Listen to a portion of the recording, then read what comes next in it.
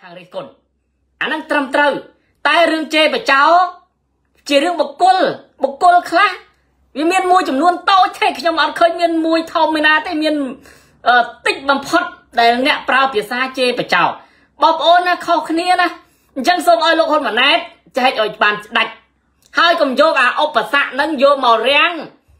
ព្រោះរឿងជាតិมันអាចយកអារឿងបន្តិចបន្តួចនឹងយកមករាំងបានទេ มันអាចយកបុគ្គលម្នាក់ហ៊ុនសែនហ៊ុនម៉ាណែតឯងអាចជួលមនុស្សមកបានតើណាជួលដូចជាមនុស្សម្នាម្នាក់មកឲ្យជេហ៊ុនម៉ាណែតឯងជេហ៊ុនសែនទៅថាគណៈបកប្រឆាំងអញ្ចឹងគណៈបកប្រឆាំងជេបចោអត់ចរចាអាហ្នឹងវាជាលេសមនុស្សដែលអត់មានទំនួលខុសត្រូវក្នុងនាមខ្លួនជានាយករដ្ឋមន្ត្រីឬក្នុងនាមខ្លួនជាមេដឹកនាំគណៈបកណាក៏ដោយគឺត្រូវហ៊ានប្រឈមនឹងការ រិះគន់ការជេរសូម្បីតែយ៉ាត់រំលាយរាល់ថ្ងៃហ្នឹងក៏មានអ្នកមកអឺជេរអ្នកមានអ្នករិះគន់យ៉ាត់រំដូចគ្នាដែរប៉ុន្តែខ្ញុំអត់ដែលខ្វល់ជាមួយនឹងអ្នកជេរទេហើយថ្មីថ្មីនេះខ្ញុំអ៊ំម្នាក់គាត់ចូលមកអឺឆាតមកជាសម្លេងហើយគាត់គាត់ថាអឺខ្ញុំលើកសម្ដីរបស់គាត់ណាគាត់ថាពួកហែងណាអឺគណៈបកពួកហែងគណៈបកទូចតាច សំបីតែហែគណៈបកក៏មិនអាចប្រៀបធៀបជាមួយនឹងគេផងគណៈបកគេគណៈបកប្រជាជនគេថាគណៈបកប្រជាជនគណៈបករបស់គាត់ហ្នឹងគេថាគណៈបកប្រជាជនរបស់គាត់ហ្នឹងសំបីតែហែហ្នឹងមនុស្សរាប់រយរាប់លានអ្នកណាមិនបាច់ទៅបោះឆ្នោតគាត់ទៅហែចាញ់គេបាត់ហើយបងប្អូនស្ដាប់ភាសារបស់គាត់ណាយើងថាខ្ញុំមិនអឺ ខ្ញុំមិនតបនឹងគាត់នឹងចាងសាហើយខ្ញុំសូមឆ្លើយតបនឹងគាត់នឹងពេលនេះណាខ្ញុំថាសូមលោកអ៊ំមេត្តាយកគំនិតមកគិតបន្តិចក្នុងនាមគាត់ជាចាស់ទុំហើយខ្ញុំអត់ចង់ប្រើភាសាអសរោះជាមួយគាត់ទេព្រោះគាត់ប្រើអសរោះជាមួយខ្ញុំក៏ខ្ញុំអត់អត់តបតបបែបអសរោះដែរខ្ញុំគាត់បកស្រាយប្រាប់គាត់ថាក្នុងតំណែងអ្នកកាន់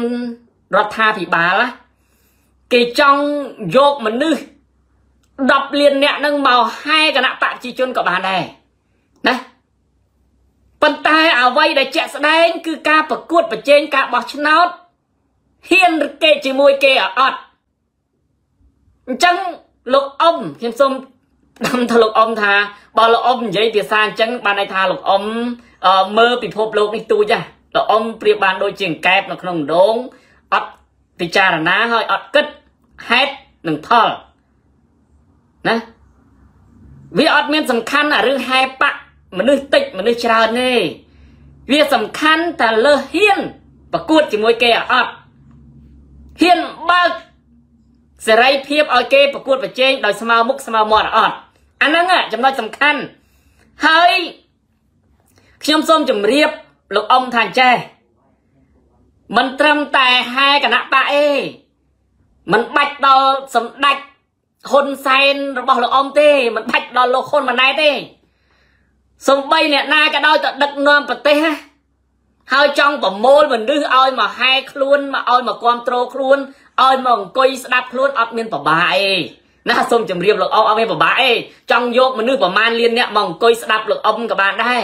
ប៉ុន្តែសួរថាវាប្រយោជន៍ដល់ប្រទេសជាតិវាប្រយោជន៍ដល់ការដឹកនាំទៅរីចម្រើននេះអត់អត់ទេព្រោះអីព្រោះរឿងក្នុងនាមយើង ជាអ្នកកាន់អំណាចក្នុងនាមយើងកាន់តំណែងក្នុងជួររដ្ឋាភិបាលយើងចង់កេនមនុស្សប្រមាណយកមកអង្គុយស្ដាប់យើងក៏បានដែរហ៎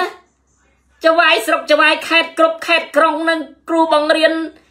ទេពលីតាហ៊ានទាំងអស់ ដាក់កម្រិតឲ្យមកអង្គុយស្ដាប់ប្រមាណក៏គេមកដែរណាគេមិនហ៊ានជំទាស់បើជំទាស់ដកគេចោលហ្នឹងអញ្ចឹងថាលោកអ៊ំជាងកែបក្នុងដងហើយខ្ញុំសូមសៀ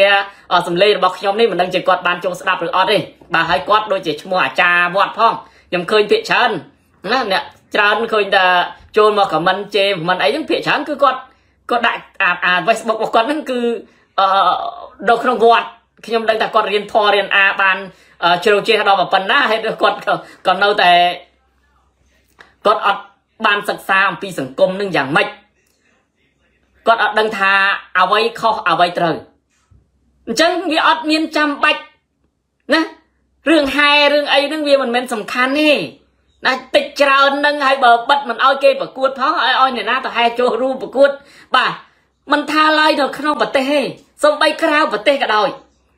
បើសិនជាហ៊ុនសែននិងហ៊ុនម៉ាណែតចង់មកសម្ដែងឲ្យមនុស្សប្រមាណអ្នកមកគ្រប់គ្រងមកចូលរួមដោយយល់លុយថវិកាជាតិមកជួលមនុស្សហ្នឹងប្រមាណអ្នកណាក៏គេធ្វើបានដែរមិនមែនចាំបាច់តែហ៊ុនម៉ាណែតនិងហ៊ុនសែនទេ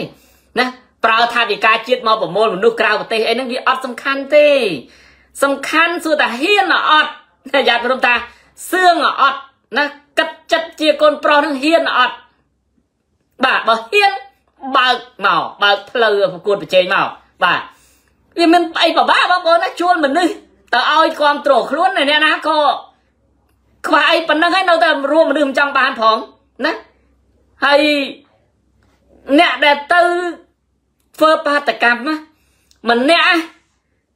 សំបីតែមនុស្សជួល100នាក់ក៏អត់ស្មើនឹងអ្នកទៅដោយស្ម័គ្រចិត្តអ្នកទៅដោយទឹកចិត្ត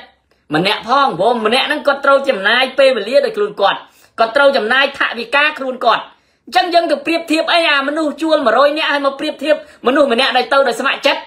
បងប្អូនមើលតាហ៊ានស៊ីឈ្នួលហើយនឹងតាហ៊ានស្ម័គ្រចិត្តសួរថាតាហ៊ានស៊ីឈ្នួលហ្នឹងវាវាខំប្រឹងដើម្បីឈ្នះអត់ទេវាធ្វើដើម្បីតែប្រយោជន៍គេជួលវាតាអញ្ចឹងមុំមុំវារត់ហើយមុំមុំវាដកថយហើយវាបែរមកទៅខំប្រឹងឲ្យងាប់អីវាអត់ដូចអាស្ម័គ្រចិត្តទេស្ម័គ្រចិត្តគឺចេញពីបេះដូងចេញពីទឹកចិត្ត អញ្ចឹងហើយបានខ្ញុំកោតសរសើរដល់បងប្អូនគណៈបកប្រឆាំងទាំងអស់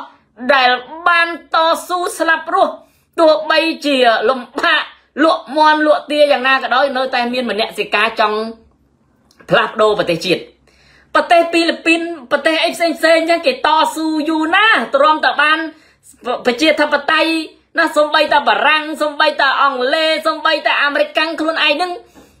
គេមិនមែននៅអង្គុយសុកសុកបានប្រជាធិបតេយ្យមកទេ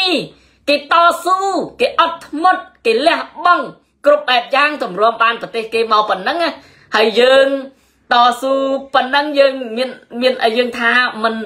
មិនជោគជ័យមិនបាន យើងបានជោគជ័យបានច្រើនណាគណៈបកប្រឆាំងធ្វើកិច្ចការដោយ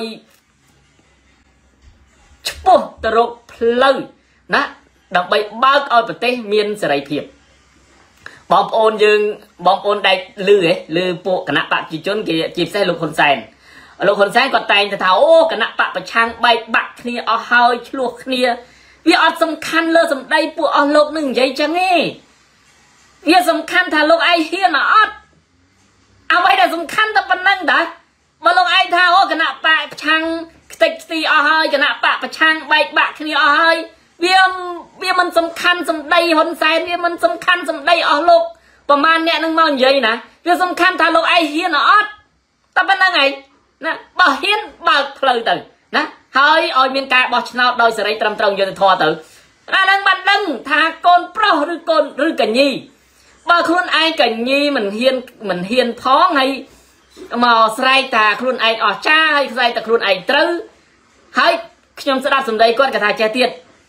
គាត់គាត់ថាប្រជាពលរដ្ឋខ្មែរវេទនាណានៅក្នុងណាហើយគណៈបព្វជិជនគេខំប្រឹងអឺសំបីតែលោកមើលតែមើលការហែបាក់ដឹងហើយវាទៅអញ្ចឹងគាត់ដឹងថាប្រជាពលរដ្ឋខ្មែរនៅក្នុងប្រទេសវេទនាប៉ុន្តែគាត់អត់បើកចិត្តឲ្យទលាយថាធ្វើម៉េចដើម្បីឲ្យប្រទេសរីកចម្រើន វាមិនមែនផ្លូវបិទគណៈបកប្រឆាំងដើម្បីឲ្យប្រទេសរីកចម្រើនទេវាអត់មានទេ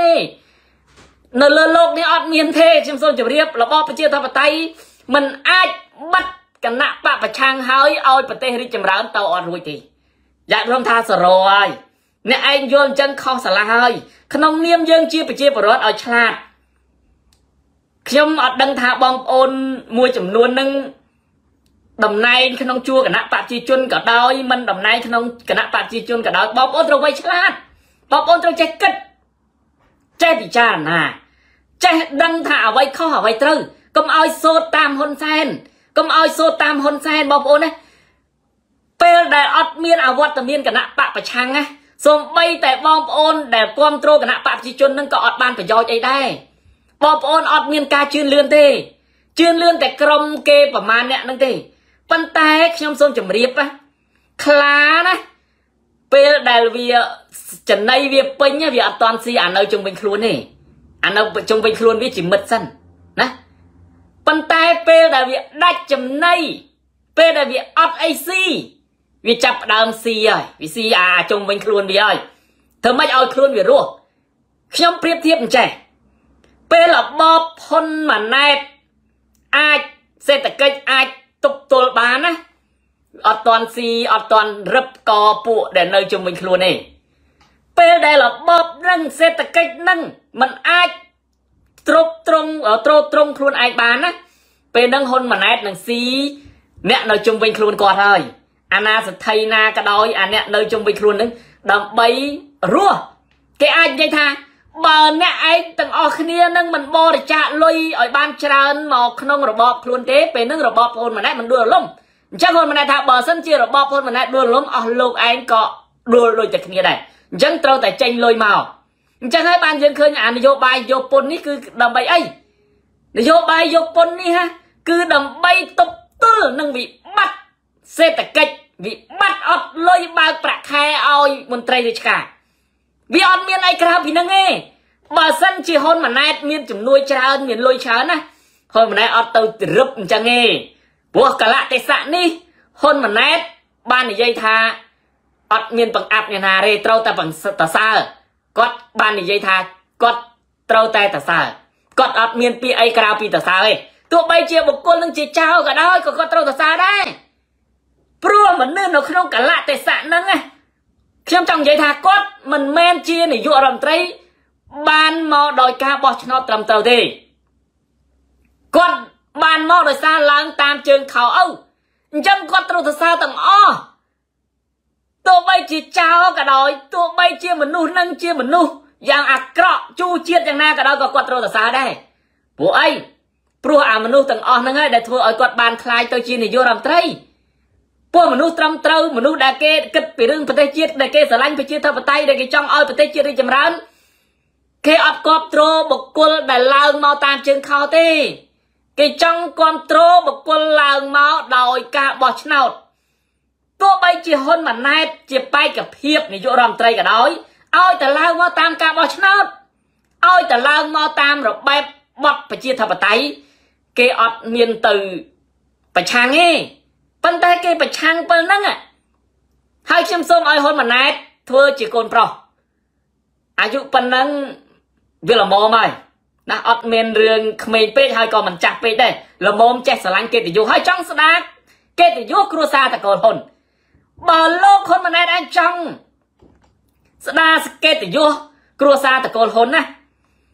តហ៊ុនម៉ាណែតអាចហ៊ានសឿងហ៊ានជាងឪកុំកំសាកញីដោយឪបើកំសាកញីដោយឪអត់ស្ដារមុខមាត់តកូលហ៊ុនអត់បានទេវាកាន់តែថោកទៀតទៅវាកាន់តែអាក្រក់ទៅចង់ស្ដារមុខមាត់ត្រកូលហ៊ុនណានិយាយគ្នាទៅតើលោកចង់បានអី លោកចង់ឲ្យគណៈបកប្រឆាំងធ្វើអីហើយគណៈបកប្រឆាំងគេអត់មានអីក្រៅពីទៀមទីឲ្យការបោះឆ្នោតដោយសេរីត្រឹមត្រូវយុត្តិធម៌គេអត់មានចង់បានអីក្រៅពីត្រូវតែឲ្យគណៈបកដែលគេទៀមទានឹងឲ្យមានការប្រកួតប្រជែងទោះបីជាគណៈបកភ្លឹងទៀនក៏ដោយគណៈបកអឺសង្គ្រោះជាតិក៏ដោយណាបើក៏គេចូលរួមប្រកួតទៅបើអស់លោកទាំងអស់គ្នាស្រែកថាគណៈបក ប្រជាជន គឺជាគណៈបកដែលមានប្រជាពលរដ្ឋគ្រប់គ្រងភ្លុកទឹកភ្លុកដីចុះខ្លាចអីអាការប្រជួតជ័យហ្នឹងវាអត់មែនទៅអោនក្បាលជាមួយនឹងអ្នកណាទេហើយខ្ញុំសូមជម្រាបប្រាប់បងប្អូនទាំងអស់អ្នកដែលជាពិសេសគឺបងប្អូនហើយសូមជួយ share វីដេអូនេះទៅឲ្យអឺអង្កេតក្នុងកណ្ដងមួយចំនួនឲ្យគាត់បានជ្រាបផងណាយ៉ាព្រមថា ពេលដែលគ្មានវត្តមានគណៈបពប្រឆាំងណាអត់មានប្រយោជន៍អីដល់អស់លោកទេ កុំសង្ឃឹមថាប្រទេសជាតិនឹងរីកចម្រើនឲ្យសោះកុំដេកសម័យទៅអត់រួចទេប្រទេសជាតិប្រជាធិបតេយ្យគេចេះជួយគ្នាណាស់ប្រជាធិបតេយ្យគឺជាប្រទេសដែលមានក្រមសីលធម៌ប្រទេសប្រជាធិបតេយ្យគឺជាប្រទេស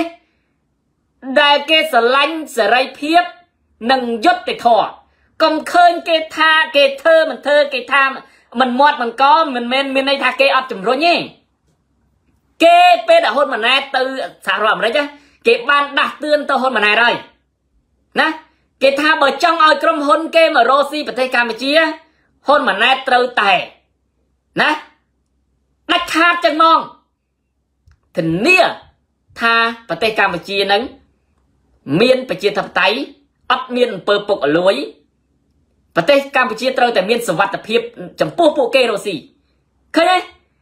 គេត្រូវការលក្ខខណ្ឌបញ្ជាក់ច្បាស់ច្បាស់ឲ្យហ៊ានតានីបើសិនជាគេដាក់តុន100លានឬក៏1000លានបើសិនជាគេដាក់ទៅខាតតើរដ្ឋាភិបាលយើងមានអីអះអាងជួយគេអញ្ចឹងយើងប្រទេសកម្ពុជាបើចង់បានអ្នកវិនិយោគមកប្រទេសកម្ពុជា គឺមានវិធីងាយស្រួលបំផុតយ៉ាព្រមថាអត់បបាអេកុំឲ្យគ្រប់គ្រងចោល កុំឲ្យកាន់ជើងចោលកុំឲ្យអំពើពុកអលួយស៊ីរុងប្រទេសកម្ពុជារលាយអស់ណាអញ្ចឹងយ៉ាត់ព្រមថាវាអត់បបាក់ទេហើយដល់ដំណាក់កាលហើយវាមិនអាចទុកឲ្យប្រទេសកម្ពុជា នៅបែបហ្នឹងបានទេហ៊ុនម៉ាណែតខ្លួនឯងក៏ដឹងដែរព្រោះហ៊ុនម៉ាណែតក៏បណ្ឌិតសេដ្ឋកិច្ចដែរណាអញ្ចឹងហ៊ុនម៉ាណែតដឹងថាសេដ្ឋកិច្ចប្រទេសកម្ពុជានឹងដួល ពេលដែលប្រទេសសេរីទាំងអស់គេអត់មករស់ស៊ីហើយប្រទេសចិនប្រទេសចិនក៏គេចាំបាច់កហ៊ុនសែននិងហ៊ុនម៉ាណែតដែរគេត្រូវតែទៀមទាឲ្យហ៊ុនម៉ាណែតត្រូវតែឲ្យចិនដាក់កងទ័ពនៅប្រទេសកម្ពុជាតែប៉ុណ្ណឹងអ្វីដែលចិនចង់បានគឺប៉ុណ្ណឹងចិនចង់គ្រប់គ្រងប្រទេសកម្ពុជាដូចជាក្រុមហ៊ុនទូរស័ព្ទដូចជាក្រុមហ៊ុនពលានយន្តហោះទាំងអស់ហ្នឹង ដូចអាមេរិកកាំងកាលទៅប្រទេសស្អីគេនោះឃើញដកគ្រាន់តែអាមេរិកកាំងដកមកពលានយន្តហោះពួកហ្នឹងដែលវាយចូលយកអាប្រទេសហ្នឹងវិញណាគ្រាន់អាមេរិកកាំងដកពលានយន្តហោះស្គៀងទាំងអស់มันអាចធ្វើចលនាឲ្យបានទាំងអស់ចេតនារបស់ចិនគឺចង់គ្រប់គ្រងកម្ពុជាបែបហ្នឹងបើសិនជាកម្ពុជាមិនធ្វើតាមបញ្ជាចិនទេចិននឹងបញ្ជាឲ្យប្រទេសកម្ពុជាកាំងទាំងអស់អត់មានផ្លូវទៅណារួចទេចុះពលានយន្តហោះចិនអ្នកធ្វើណា ហើយកន្លែងសម្បត្តិរៀបចិនអ្នកធ្វើរឿងអីចិនមិនអាចបញ្ជាឲ្យកាំងបានណាចិនគ្រប់កន្លែងទាំងអស់ចិនឲ្យឲ្យកាំងកាំងស្ញិញអញ្ចឹងហ៊ុនម៉ាណែតហ៊ានលេងលបាយហ្នឹងឯងអត់ហ៊ានទេបងប្អូនជរុបជាតិបងប្អូនពេលនេះហ៊ុនម៉ាណែតគាត់មានសុប្រសាសន៍មួយខ្ញុំជឿចិត្តថាគាត់ចង់បន្ទន់អេរយាប័តដែរខ្ញុំមើលគាត់ណាព្រោះគាត់ចង់ឲ្យយើងនឹងកុំរិះគន់គាត់ដើម្បីឲ្យទៅរកភាពចរចាបាទ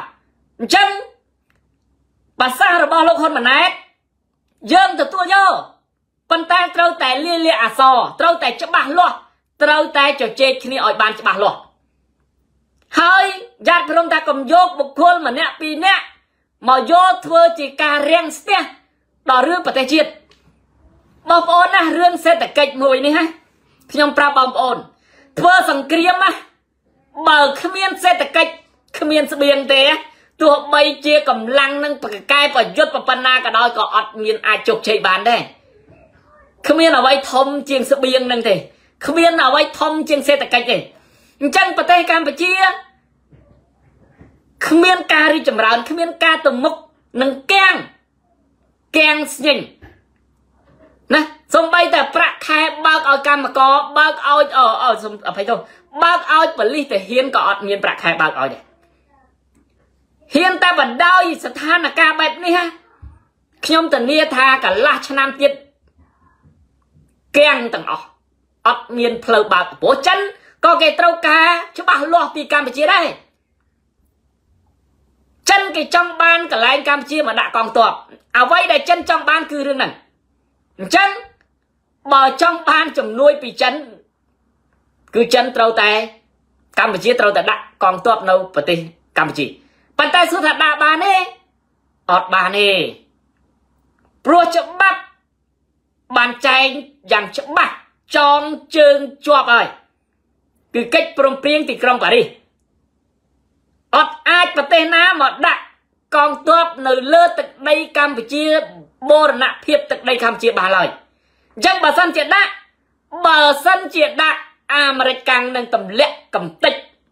សមុទ្ររៀមឬក៏ប្រទេសកម្ពុជានឹងឲ្យខ្លាយទៅជាផេះអត់មានរឿងអីទៅរួចទេណា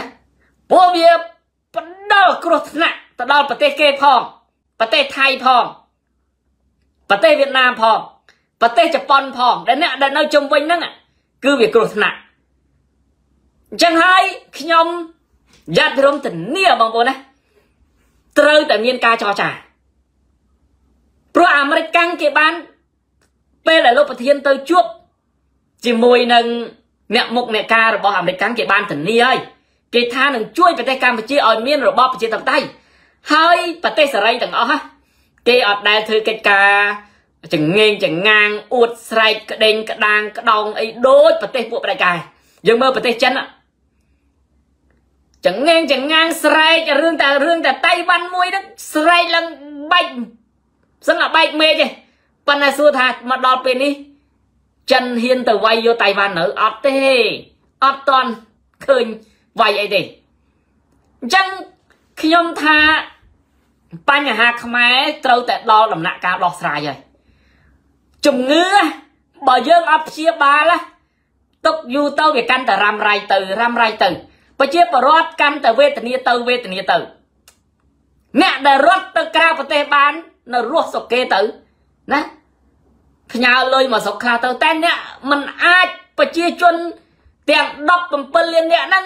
มันអាចរត់ទាំងអស់បានទេវាมันអាចទេណាត្រូវមានចាស់ជរាហើយអាណាគេណាគេប្រទេសណាគេទៅយកយើងចាស់យើងធ្វើការពេលដែលយើងចាស់យើងមិនត្រឡប់មកស្រុកខ្មែរវិញហើយអ្នកចាស់នៅស្រុកខ្មែរយើងទៅណារួចអញ្ចឹងវេទនាណាវេទនាទៅហើយសួរថាពេលដែលអស់លោកទាំងអស់ ដែលថាអូគណៈបពប្រឆាំងចេះគណៈបពប្រឆាំងចោះបងប្អូនត្រូវយល់ណាវាអត់មានចំណេញទេយ៉ាព្រមថាអត់ចំណេញទេ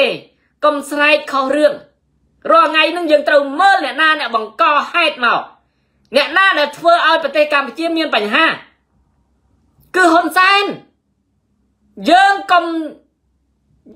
ថាចោលជាមនុស្សល្អយើងកុំឲ្យដាក់កំហុសទៅលើអ្នករងគ្រោះ អាហ្នឹងបើយើងជាមនុស្សបើយើងមានឧត្តមគតិហើយអ្នកខ្លះនៅនឹងវត្តទៀតណាមិនដឹងជាអាចារ្យមិនដឹងជាយ៉ាងម៉េចទេណាខ្ញុំឃើញគាត់ដាក់ភេទឈ្មោះនៅវត្តណាមិនដឹង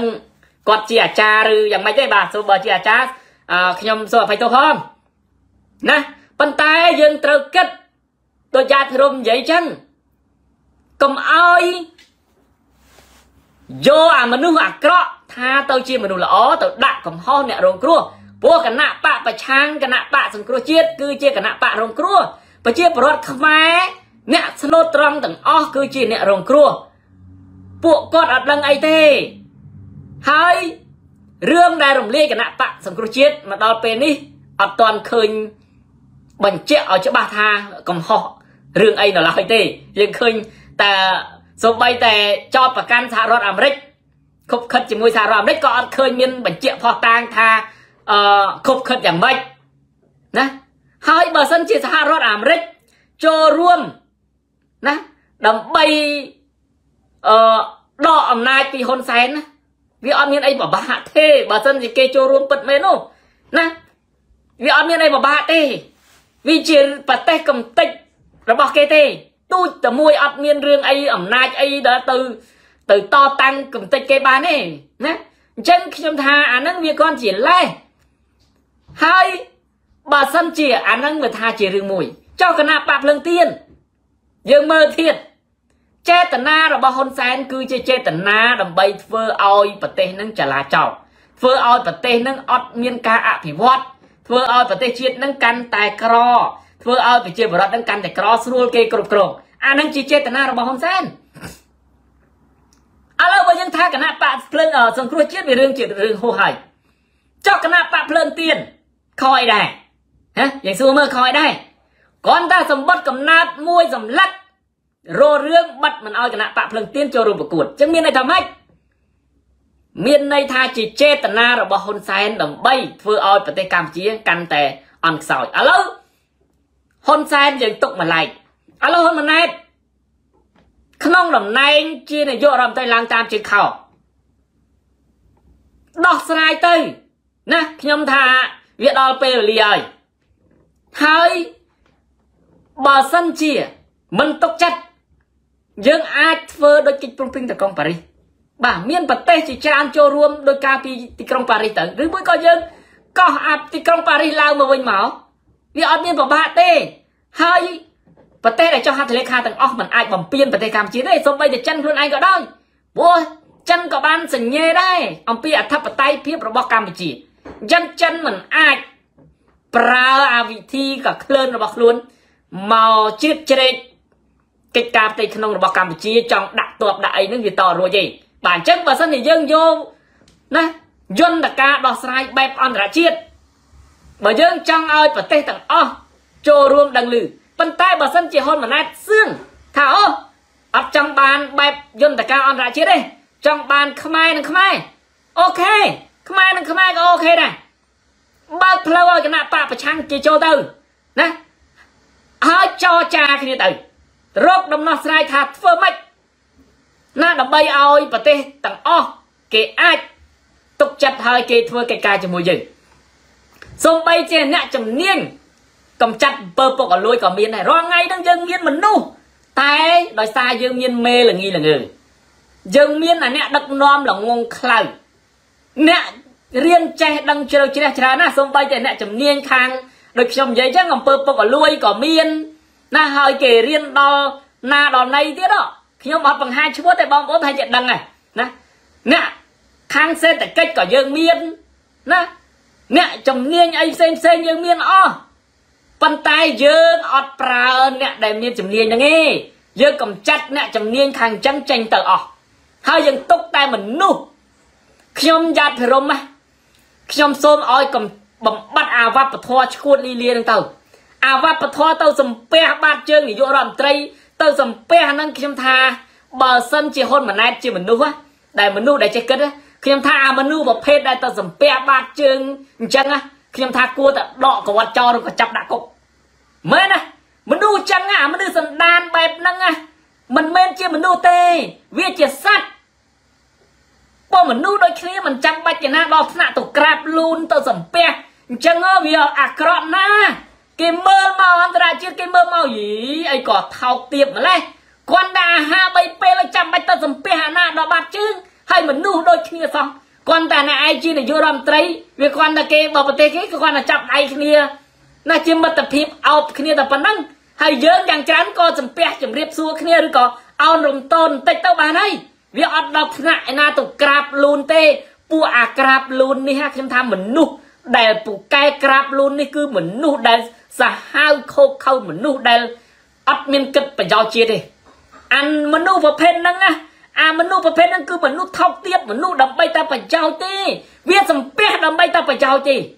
ចាំមើលតែវាបានប្រយោជន៍ហើយណាហើយបើសិនជាវាបានធំជាងអានាយករដ្ឋមន្ត្រីនឹងទៀតណាវាជន់ក្បាលអានាយករដ្ឋមន្ត្រីនឹងលឹបដល់ដីហ្មងអាមនុស្សប្រភេទហ្នឹងបងប្អូនដឹងហើយមើលតែមើលតែរឿងគេសំដែងបងប្អូនដឹងហើយមនុស្សប្រភេទហ្នឹងមិនគួរឲ្យមាននៅប្រទេសកម្ពុជាទេខ្ញុំថាបើសិនជាអាណាប្រកែកក្រាបលូនអាណាប្រកែសំពះបាត់ជើងនេះ ដកវាចោលឬក៏ណាកុំឲ្យវាຕົកចាប់វាដាក់គុកបដ ாய் ទៅអាមនុស្សអញ្ចឹងចឹងវាអាក្រក់ណាវាដូចជាឆ្កែមួយក្បាលឆ្កែគ្រាន់មានតម្លៃជាងអាមនុស្សប្រភេទហ្នឹងផងណាវាអត់មែនវប្បធម៌ណាទៅសំពះបាត់ជើងគេទេអាទៅសំពះគេក្រាបដល់ដីហ្នឹងគឺទៅសំពះដើម្បីប្រយោជន៍ទេបងប្អូនវាអត់មានដល់ថ្នាក់ហ្នឹងទេណាអើបើថាស្ដាច់ដូច សុកថៃអីគេណាហើយយើងមើលឃើញពួកហ្នឹងវាទៅក្រាបលូនសំពះស្ដាច់ទេអត់ទេវាទៅសំពះនាយករដ្ឋមន្ត្រីពួកអីពួកវាដឹងថានាយករដ្ឋមន្ត្រីហ្នឹងជាអ្នកផ្ដល់ប្រយោជន៍ឲ្យពួកគេអញ្ចឹងហើយវាទៅធ្វើអញ្ចឹងទៅវាអន់ណាណាអីក៏ម៉េះម៉េះបងប្អូនវាថោកទៀតវារត់ចេះអាយល់លុយនឹងជាអតិតេតយល់លុយនឹងសំខាន់ជាងស្អីទាំងអស់ សំខាន់ជាងកិត្តិយសសំខាន់ជាងមុខមាត់ប្រទេសជាតិទាំងមូលហើយទៅទៅថតបង្ហាញឲ្យពិភពលោកមើលគេគេទៅសើហើយគេថាមនុស្សដូចគ្នាសោះចាំបាច់ទៅក្រាបលូនឯដល់ប៉ុណ្ណឹងសុកគេអ្នកធំគេកាន់តែខ្លាចអ្នកតូចអ្នកដែលកាន់តែធំណាមនុស្សដែលកាន់តែមានអំណាចគឺមនុស្សនឹងខ្លាចហ่าខ្លាចមែនទែនណាតិចតែឃើញគេធ្វើចវាយខេតធ្វើតំណាងរាអីគេ អូប្រយ័ត្នប្រយែងណាបងប្អូនអើយគេខ្លាចណាគេអត់ចង់ព្រោះកាលណាមនុស្សយើងកាន់តែខ្ពស់គឺអាការប្រមាញ់អាការដែលចាប់កំហុសនឹងកាន់តែច្រើនអញ្ចឹងបានយ៉ាត់ព្រមថា យើងឡើងកាន់តែខ្ពស់ដើមឈើកាន់តែខ្ពស់កាន់តែធំគឺជួបខ្យល់ជួបព្យុះកាន់តែខ្លាំងឡើងកាន់តែខ្ពស់មើលកាន់តែឃើញឆ្ងាយអញ្ចឹងបានតែខ្ញុំផ្ដាំទៅលោកអ៊ំមួយដែលដែលខមមិនមកនៅក្នុងវត្តហ្នឹងណា ខ្ញុំថាលោកអ៊ំកុំធ្វើជាអង្កែបក្នុងដងលោកអ៊ំត្រូវសម្លឹងមើលពិភពលោកប៉ុន្តែគាត់ប្រហែលជាមិនដែលតាណាទេតាមមើលគាត់នៅតែនឹងនឹងវត្តនឹងមើលតែនឹងវត្តនឹងស៊ីអាហារវត្តនឹងតាណាកឹបខេងនឹងវត្តនឹងគាត់អត់ដឹងថាអ្វីទៅយើងត្រូវមើលថាប្រទេសគេដើរដល់ណាហើយហើយយើងមកដល់ពេលហ្នឹងហើយហ៊ុនម៉ាណែតទៅនិយាយរឿងពង្រឹងធនធានមនុស្សហើយនិយាយតែមាត់ តាមពិតណាធនធានមនុស្សហើយយើងត្រូវពង្រឹងតាំងពី4 10 20ឆ្នាំមុនម្ល៉េះបងប្អូនមើលមើលកូនគេអ្នកមានគេមានលុយគេពុកឲ្យលួយគេបញ្ជូនកូនគេទៅរៀនក្រៅប្រទេសចុះយើងអ្នកកសិករយើងអ្នកក្រីក្រយើងមានសមត្ថភាពឯណាទៅបញ្ជូនកូនទៅរៀនក្រៅប្រទេសសំបីតែរៀននៅក្នុងប្រទេសហ្នឹងក៏យើងអត់មានសមត្ថភាពបញ្ជូនឲ្យកូនយើងរៀនបាន ជ្រៅជ្រះជប់ចុងជប់ដើមផងពួកគេភ័យអីលុយគេវល់លៀនគេចង់បញ្ជូនទៅរៀនអាមេរិកអាមេរិកគេចង់ទៅរៀនអង់គ្លេសអង់គ្លេសគេចង់ទៅរៀននៅកាណាដាកាណាដាហើយសួរថាអាការដឹកនាំបែបហ្នឹងវាសមហេតុសមផលទេអត់ទេយើងត្រូវបើកឱកាសបើកឱកាសឲ្យមនុស្សទាំងអស់ដូចយើងប្រកួតចម្រៀងអញ្ចឹងយើងប្រកួតប្រឡងចម្រៀងហើយបើយើងជ្រើសរើសតែគ្នាយើងប្រហែលនេះឲ្យមកប្រឡងយើងមិនដឹងថា អ្នកណាសំលេងឯកអ្នកណាសំលេងខ្លាំងបើយើងយកតែគ្នាយើងប្រហែលអ្នកហើយយកមកបង្រៀនប្រឡងទៅអើប្រឡងទៅវាជាប់តែ4 5នាក់ហ្នឹងជាប់អាម្នាក់ហ្នឹងទៅតែយើងអត់បើកជើងមេឲ្យទូទាំងប្រទេសកម្ពុជាហ្នឹងឲ្យមនុស្សទាំងអស់ហ្នឹងឲ្យគាត់មានយើងបើកទៅយើងបង្រឹងទៅណាសាលារៀនតាមជនបទតាមអីហ្នឹងយើងគួរតែបង្រឹងយើងមិនមែនថាសាលាអាងតែគ្នាសាលារៀនជនបទ គ្នាបដោយទៅអាគ្រូនឹងពេលរៀនរៀនទៅទៅបងត្រីបាត់ទៅណារៀនរៀនកឆប់ទៅច្រូតស្រូវបាត់ទៅហើយសួរថារៀនបែបហ្នឹងហើយមានគុណភាពមកពីណាណាតិចតើនាយកសាលាហ្នឹងក៏ផឹកសវឹងជក់ថ្នាំប៉ែឡែប៉ែឡែពេញសាលាហ្នឹងទៅតែវាវាមានអីយើងត្រូវពង្រឹងតាមមូលដ្ឋានដើម្បីជ្រើសរើសនិស្សិតឆ្នើមជ្រើសរើសកូនខ្មែរដែលក្រីក្រដែលអាច មានសមត្ថភាពរៀនបានឆ្លាតមិនមែនឆ្លាតតែកូនអ្នកទីក្រុងឯណាយើងមើលងាយអ្នកស្រែម្ល៉េះអ្នកស្រែក៏គេមានកូនគេអ្នកឆ្លាតដែរប៉ុន្តែដោយសារគ្នាគ្មានឱកាសនិយាយចំឱកាសវាអត់មានស្រុកយើងណាស្រុកកម្ពុជាយើងណា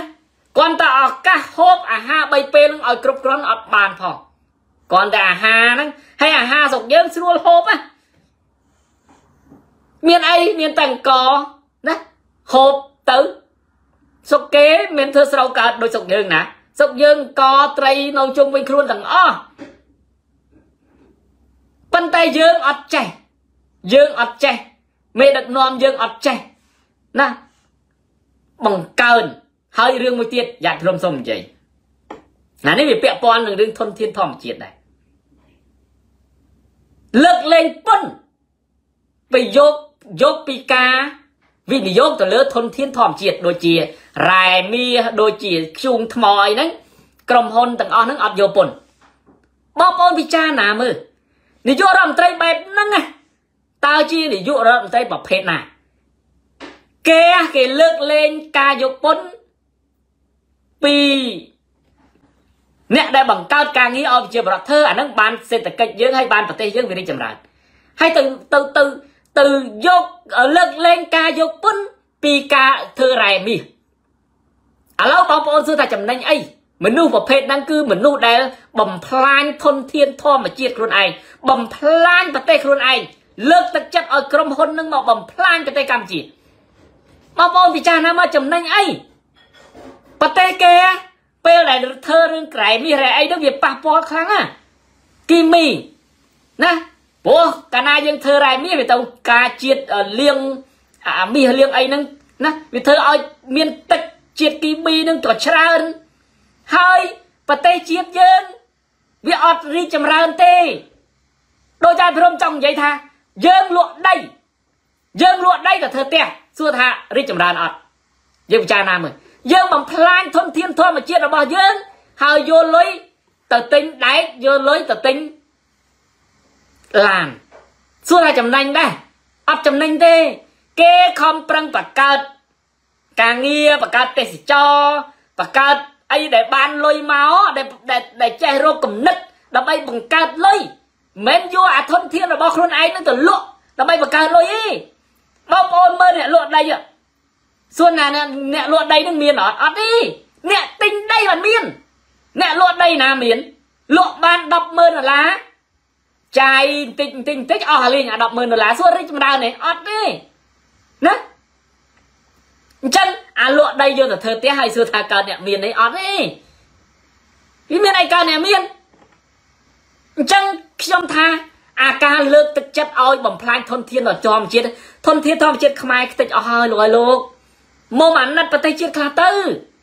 អាយុថ្មភ្នំអាយុ គេដូនតានឹងយកមកបំផ្លាញឲ្យសួរថាប្រទេសរីចម្រើនទៅមុខរួចអត់តើបំផ្លាញអស់ទៅអនាគតនឹងបានស្អីយូរយូរអាប្រទេសកម្ពុជាយូរយូរលេខភ្នំយកកាយខ្ទេចអស់ផ្ទុះយកអស់ហើយក្រុមហ៊ុនយួនក្រុមហ៊ុនចិនរំលាយអស់លេខភ្នំខ្យូងថ្មអីហ្នឹងគេមិនធ្វើចឹងទេមេដឹកនាំគេមិនទៅធ្វើចឹងទេអានឹងលុះត្រាណាតែគេធ្វើដែលគេទៅសិក្សាអំពីផលប៉ះពាល់ហើយត្រូវបានចំណេញដល់ជាតិ ណាហើយវាអត់ឃើញមានចំណេញអីបានដល់ជាតិផងឃើញតែធ្វើរ៉ែមាសរ៉ែអីហ្នឹងឃើញបានទាំងតោនទាំងតោនបាន6 7 8តោនហ្នឹងមិនដឹងជាលុយនៅឯណាហើយមិនដឹងជាបានប្រយោជន៍ទៅដល់លុយចូលជាតិហ្នឹងប្រហែលតិចតួចបំផុតវាទៅបានមានបានអាក្រុមហ៊ុនហាក្រុមហ៊ុនណាក្រុមហ៊ុនវាបងពុនឲ្យរត់បន្តិចទៅប៉ុន្តែវាបងពុនចូលកប៉ៅពួកអានេះធំវាច្រើនហើយសួរថាចំណេញអីអស់បងប្អូន កាត់បញ្យោពុនពីគេដើម្បីឲ្យគេនឹងទៅយកអាលុយក្រោមទឹកសុកទៅបកគលរៀងៗខ្លួនជាតិយើងអាលាយខ្សលព្រៃឈើអាលាយហើយណាល្មមហើយយើងរកជំនួយឲ្យយើងយកអាលុយដែលវាមិនបំផ្លាញប្រទេសជាតិដោយអា EBA ណា1000លានដុល្លារជាងអាហ្នឹងយើងអត់មានត្រូវការបំផ្លាញអីផងហ្នឹងហើយអត់មានជាតិគីមីទៀតហើយអាជាតិគីមីនេះកុំថាឡើយយើងទៅផឹកទឹកអាកន្លែង ទឹកហូរជាតិគីមីរបស់រ៉ែទាំងអស់រ៉ែមាសហ្នឹងសូម្បីតែត្រីដែលជាតិគីមីនឹងចូលទៅដល់ត្រីត្រីវាស៊ីយើងមកស៊ីត្រីទៀតវាធ្វើឲ្យឆ្លងរោគយើងទៀតឃើញទេមិនធម្មតាទេវាអត់ចំណេញអីទេខ្ញុំថាអត់ចំណេញអីទេណាអញ្ចឹងយើងទៅយកអាលុយដែលគេឲ្យព្រីលុយដែលដែលយើងអត់បាច់បំផ្លាញធនធានធម្មជាតិ1000លានដុល្លារណា700លានដុល្លារ ណាពីអាមេរិកទេសចរយើងបានលុយមកដោយស្រួលហើយយើងអត់ខំប្រឹងបង្កើតយើងគិតតែធ្វើប្រទេសកម្ពុជាឲ្យតែចលាចលអាតឡាការក៏អត់ឯករាជ្យអាសន្តិសុខក៏អញេអញៃណាអញ្ចឹងខ្ញុំថាល្មមហើយណាខ្ញុំថាប្រទេសកម្ពុជាដល់ដំណាក់កាលដែលត្រូវដោះស្រាយវិបត្តិហើយក្នុងនាមលោកហ៊ុនម៉ាណែតណាជាយុវជនចំនួនក្រោយក៏ដោយទោះបីជាលោកហ៊ុនម៉ាណែតនឹងឡើងតាមជើងខោក៏ដោយ គួរតែបើកផ្លូវចោលចាទៅណាអត់អាចពញាប្រទេសកម្ពុជាតទៅមុខទៀតទេហើយប្រជាប្រដ្ឋខ្លួនឯងទាំងអស់ក៏ត្រូវតែខ្ញុំថាល្មមដេកភ្ញាក់ពីដំណេកហើយយើងមិនអាចបណ្ដោយឲ្យប្រទេសកម្ពុជាយើងអឺពីមួយថ្ងៃទៅមួយថ្ងៃនឹងកាន់តែវេទនាឡើងវេទនាឡើងអាគេនោះគេឡើងដល់ណាដល់ណីគេហក់ដល់ណាដល់ណីហើយណាគេធ្វើឥឡូវនេះគេពងសបាយអជាមួយនឹង ក្រុមហ៊ុនទៅវិនិយោគប្រទេសគេប្រទេសវៀតណាមប្រទេសថៃហើយខ្ញុំខ្ញុំមិនចេះនិយាយទេបងប្អូនខ្ញុំខ្ញុំដើរទៅសាលារៀនខ្ញុំទៅកន្លែងណាក៏ដោយខ្ញុំតែងតែសួរជនជាតិគេថាស្គាល់កម្ពុជាអត់ខ្ញុំសួរទាំងអស់ភាគច្រើនគឺគេអត់ស្គាល់ហ្មងនិយាយតាមត្រង់ហ្មងភាគច្រើនគេស្គាល់ Thailand ហើយសួរស្គាល់ Thailand អត់ស្គាល់ហើយប្រាប់ថាកម្ពុជានៅជាប់ Thailand គេអត់ដឹងតែបើ Thailand គេស្គាល់គេគេគេធ្លាប់ ទៅលេងគេធ្លាប់ស្គាល់គេធ្លាប់ឮឈ្មោះហើយអាហ្នឹងណាអាហ្នឹងជារឿងមួយដែលដែលយើងជាកូនខ្មែរទាំងអស់មានការខកចិត្តហេតុអីបានជាប្រទេសកម្ពុជាយើងមានសសាតអង្គរវត្តដែលជាមានកេលអំណែលចាស់បុរាណវប្បធម៌ប្រពៃណីចាស់ជាងគេពីក្រុងចាស់ជាងគេហេតុអីបានជាគេអត់ស្គាល់អាហ្នឹងយើងសួរតាមមូលហេតុអីហេតុអីបានយើងអន់ជាងគេម្ល៉េះហើយសូម្បីតែភាសាប្រឡងឡាន ប្រឡងឡានណាខ្ញុំទៅប្រឡងឡាន ភាសាលាវក៏មាន ភាសាវៀតណាមក៏មាន ភាសាថៃក៏មានទៅសួរភាសាខ្មែរអត់មានអត់មានភាសាខ្មែរភាសាអីផ្សេងផ្សេងអារ៉ាប់ភាសាជប៉ុនភាសាអីចិនអីមានទាំងអស់មានការតូចចិត្តណាបងប្អូនណាមិនគួរណាយើងមានមេដឹកនាំអញ្ចឹងទេតែធ្វើឲ្យប្រទេសជាតិយើងអន់យ៉ាងហ្នឹងអន់មែនទេហ្មងណា មានអន់លេងលេងបងប្អូននៅក្នុងប្រទេសបងប្អូនអត់ដឹងទេបងប្អូនចេញមកក្រៅបងប្អូនណាជាពិសេសបងប្អូននៅខាងក្រៅប្រទេសបងប្អូនគួរតែស៊ើបសួរឲ្យដើម្បីបង្ហាញឲ្យគេស្គាល់កម្ពុជាណាដើម្បីឲ្យជាមោទនភាពឲ្យយើងខ្លួនឯងយើងយើងតូចចិត្តណាប្រទេសកម្ពុជាមានចំណាស់អាយុច្រើនជាងគេ តាំងពីសម័យបុរាណមកណាមានអសរសាស្ត្រដោយខ្លួនឯងអត់ទៅយកចម្លងពីគេ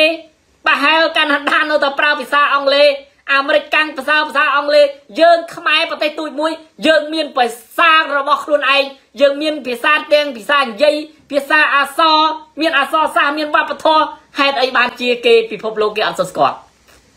អាហ្នឹងមកពីមូលហេតុអីឥឡូវយើងសួររមូលហេតុអីហើយគណៈបកប្រឆាំងខំប្រឹងធ្វើបាតកម្មអីតាមពេញពិភពលោកដើម្បីឲ្យគេចាប់អារម្មណ៍ផងឲ្យគេស្គាល់ផង នៅតែគេស្គាល់តិចតួចបំផុតណា តវ៉ាទៀមទាអញ្ចឹងខ្ញុំថាមកពីមេដឹកនាំអសមត្ថភាពសងំតែអង្គើពុកលួយសងំតែកើបលុយអត់ចេះណាជំរុញទូតនៅតាមប្រទេសនឹងឲ្យធ្វើការសកម្មជាមួយនឹងប្រជាពលរដ្ឋឲ្យចេះដឹងទុកទរៈសំបីតែទូតនៅប្រទេសថៃដូចគោពាក់ប៉ោតដូចទីម៉ងអញ្ចឹងទៅទៅធ្វើទូតដល់ស្រុកថៃនឹងគឺចាំតែយកយកលុយពីកម្មករយកលុយពីនេះទេ ប៉ុន្តែអត់ដែលឃើញមានការខ្នះខ្នែងជួយប្រជាពលរដ្ឋខ្មែរកម្មករខ្មែររងគ្រោះនៅប្រទេសថៃមិនដែលឃើញអាទូតខ្មែរមួយណានៅប្រទេសថៃនឹងឲ្យចេញមកចងាប់ចងល់អត់បើពូកែណាអាខាងបបួលផឹកស៊ីណាធ្វើបាបគេអីនឹងប្រកែមែនប៉ុន្តែអារឿងប្រកែទៅដើម្បីឲ្យជួយកិច្ចការប្រជាពលរដ្ឋមានបញ្ហាធ្លាក់ឬក៏ត្រូវគេចាប់គេចងអីវិញអត់មានដូចគេទេ អាប្រទេសចិត្តខាងខ្លួនឯងប្រទេសវៀតណាមឃើញទេគ្រាន់តែប្រជាពលរដ្ឋគេមកនៅទឹកដីកម្ពុជាលព្រីទៀតណានៅដោយស្រួលរស់នៅដោយមិនមានការបងពុនមិនមានការអីរស់នៅ